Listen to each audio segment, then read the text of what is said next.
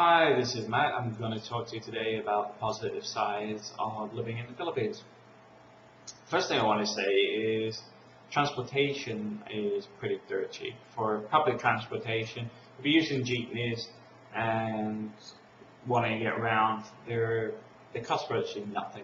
I wouldn't say nothing, but virtually nothing.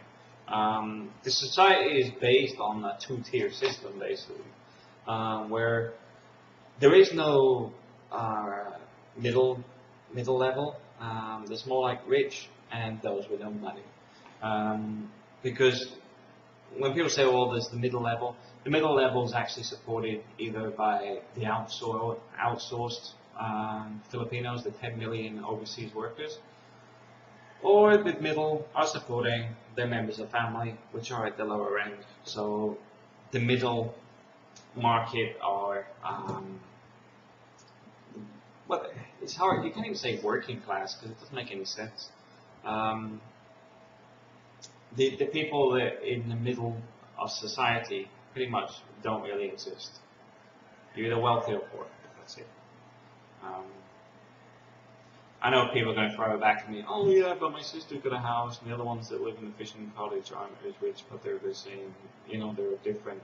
The guy who's a fisherman is different to a guy that lives in a subdivision. Um, they are at the same time. They're not wealthy. Um, it's they're they're too close together to actually say they're separate. Um, but yeah, what you, how do I get onto this? Um, but the the fact is, because that divide, this is why it makes sense. Um, you'll find the poor people, public transportation is cheap, um, taxis can be quite expensive. Um, they're still cheap to us because we have a, a, considerably larger income than most of the local population. But you'll find the guys at the lower end that go on the jeepneys will not use the taxis. They can't afford them. So taxis are predominantly used by um, foreigners and the upper class. The upper class, um, I don't even like using that term, the, the, the what they call rich locally um, normally have their own cars as well as using taxis, but generally because of the size of families, they may they, they would need about 10 cars sometimes. Um, so the taxis are used a lot for things like groceries and things like that because the husband's using the car at work. Um, so that's that's transportation. So the I mean the, what I'm talking about if you if I took the bus here to the SM Mall, uh, it cost me around 30 pesos. Um, I'm not going to compare it to other, you can compare it on Yahoo exchange rates yourself. Um, but a taxi costs me around 200 pesos. You can see the difference in price already. Um, that's because of the different levels of society. Um, supply and demand. Um, so transportation is cheap, and you can go island to island pretty cheap on buses, but taking a car can be very expensive um, because they charge extra fees for the vehicles for the ferries, obviously. Um, but it's not relative, if you know what I mean. It can be a lot more. Um, so, is it easier going by bus? Maybe, but is it safer? No. Um, I don't know how many buses they have fall off cliffs here in Cebu. Because um, one of the things they do is they retread the tires. Um, they'll take an old tire and stick glue another tread over the top. Uh, they have brakes that are faulty and let's be positive. I, I don't use the buses, that's all I can say. Um, that's transportation. What I do recommend if you're here long term is get a motorbike if you're competent and uh, capable of reading other people's minds. Uh, because most people do not drive properly here at all. They don't indicate. They'll take, like say they're doing a U-turn on the main road that's four lanes wide. They will go from the first lane, first lane, the, the inside lane, and go right across all four. Um, they will not go at the outside lane, indicate, then do a U-turn. They'll take all of the road. Doesn't matter if the vehicle's um, small or big, they just do it. Um, indicating is often not done at all. Um, brake lights don't work. Let's leave all the negative stuff. But it, for the positive side of having a motorbike here is down to being able to travel and go where you want. It's quicker, it's convenient, and you're less likely to get robbed on a motorbike because pickpockets have to move pretty quick. Uh, yeah, I like I like my motorbike because like today it's it's not fantastic. It's overcast a little bit, but I could be up in the mountains within a couple of minutes and fresh air, green views, and then it's just nice to get out sometimes. Uh, the weather is the next thing.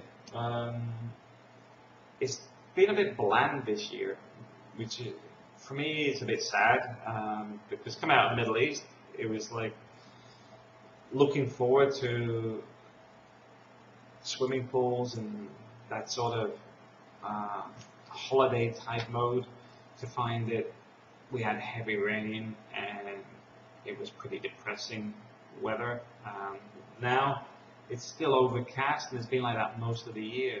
It's a bit sad really compared to normal. Um, it's not the weather I had in 2007, that's for sure. Um, but then again, it's still a lot better than the UK is right now, which is uh, snows and snow and floods. Uh, what else is there? If you're in the 60s club, um, which I know many many expats are, um, because for me it's a, an odd perspective, but at the same time I've worked with uh, social housing and things in the UK, and I also know a lot of people that got to a certain age where most of their friends have died or moved away, so they're they don't really have an engagement with a lot of people in the community. Um, they live alone. They don't they don't really have a lot going on.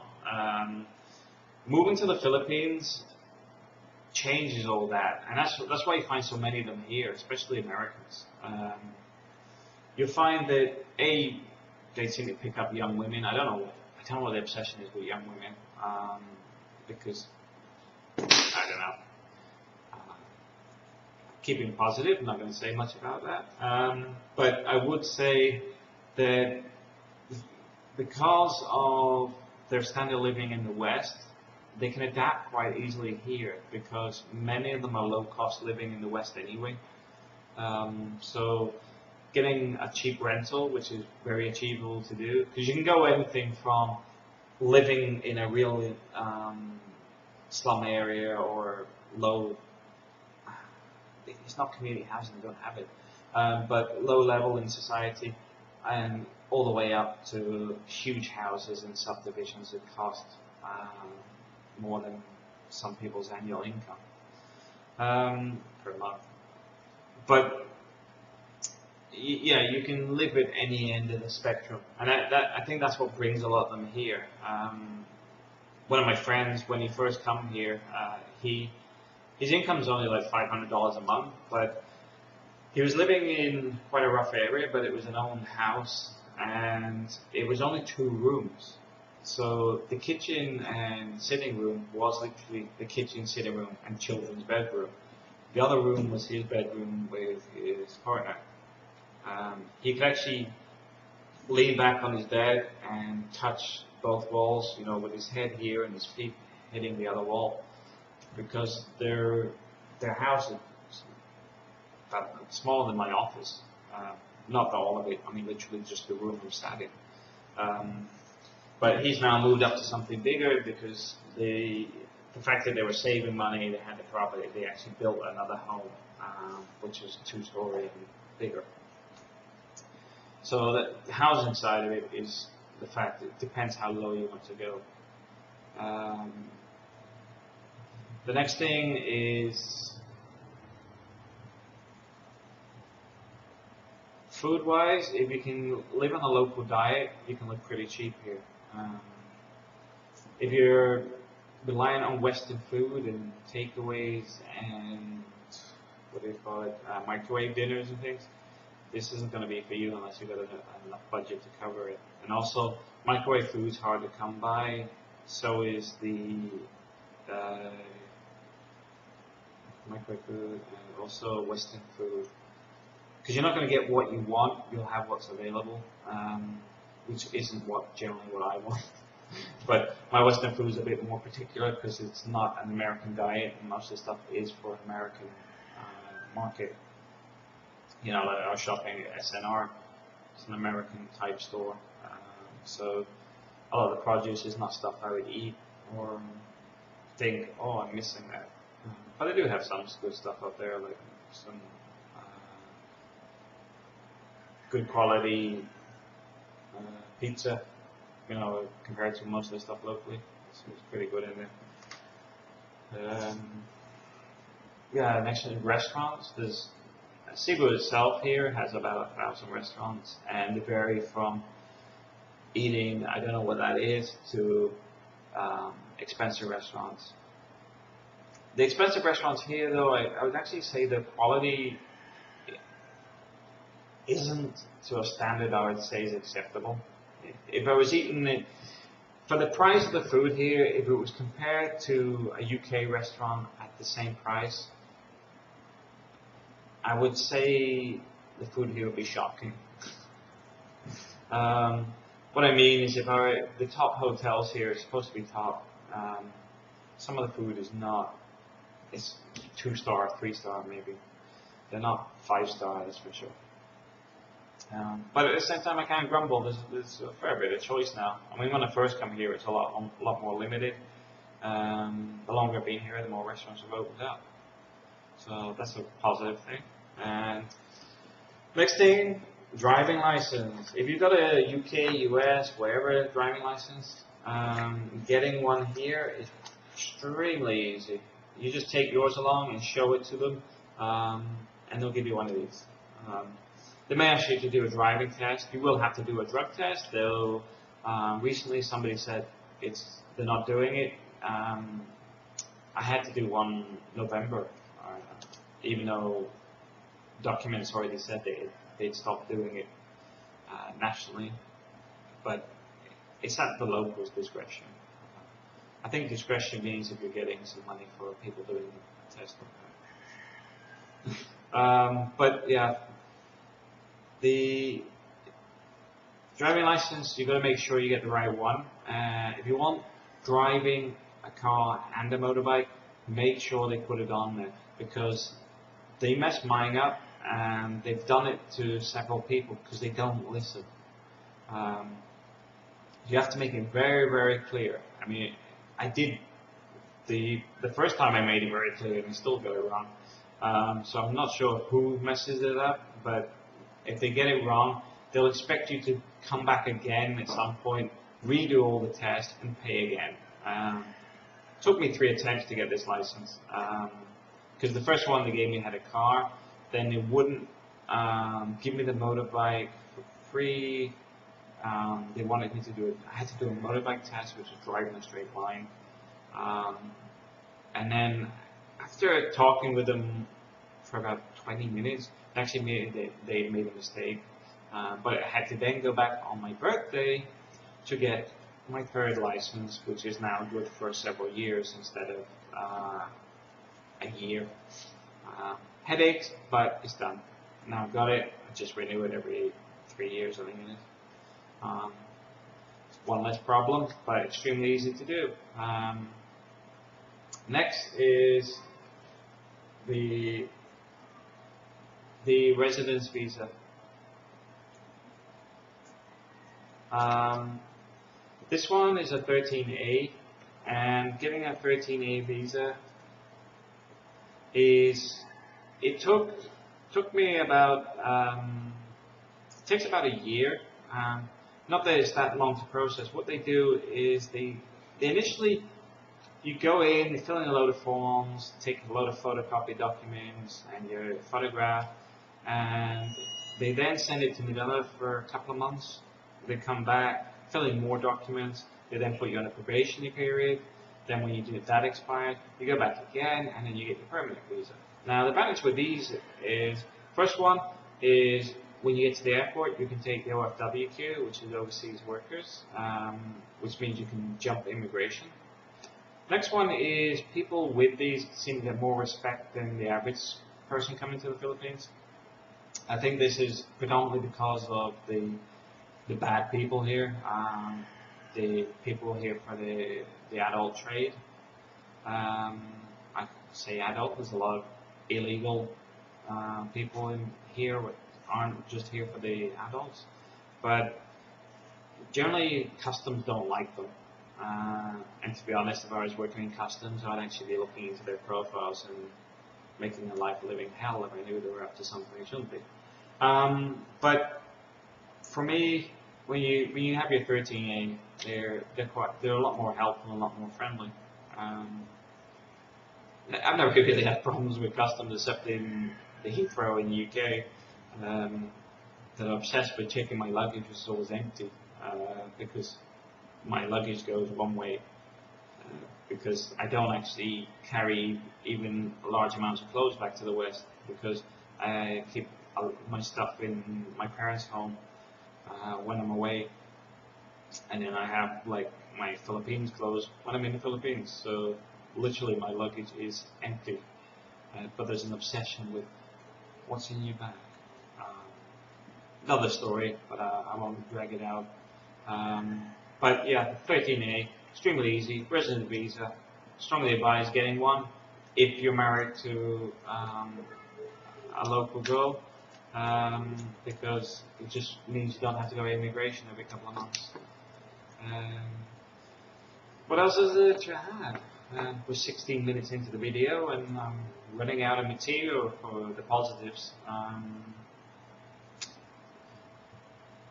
rentals, I'm not sure if we, yeah, at different levels. Um, I'm not going to go into prices because the prices don't make any sense. Um, prime example, I can go to a house and get it for 5,000 pesos, and you can go to it and you'll get charged 12,000. Um, the reality of it, for me though, is that the Philippines is not um, the two-week trip. If you're going to come here to live, then you really need to spend some time here and not just go, hey, you know what, I'm here. Uh, it's fantastic. I spent like a thousand dollars or uh, lived in a nice hotel, lived in a, um, went out every night, nice restaurants, blah, blah, blah. Because when you're here full time, that's not what you do. Uh, unless you have uh, significant income and uh, enjoy that style of life, but I would actually say there's other countries that actually offer a better alternative. Um, so you really need to come here as as a living tourist, I would say. Come out for a month, um, don't have a hotel, just get a short-term rental and try and live within the community um, and see how you get on with that. Because that's that's that's the thing. Inside the community is very different to living in a hotel where everybody's kissing your butt and making sure you have a great stay because they want you to spend money there and come back next year. Um, living here full time, very very different. Anyway. Um, the video is long enough and I think I've covered a lot of points that are important. And I'm going to do the next video on why not to live here. Um, and it's not a negative video by the way. These are these are things that bother people. Um, because if you're living here then you need to know. Um, I'm going to re-stress that when I start the next video as well because the fact is there's um, too much uh, fluffing and wrapping in cotton wool about life here, um, which really screws up other people's lives when they eventually do move here and realize that it's not what they were told. Um, that's why I'm going to do this. Um, anyway, signing off. Uh, thanks for living. Uh, thanks for listening. Uh, that's Matt, CW Expat. Thank you.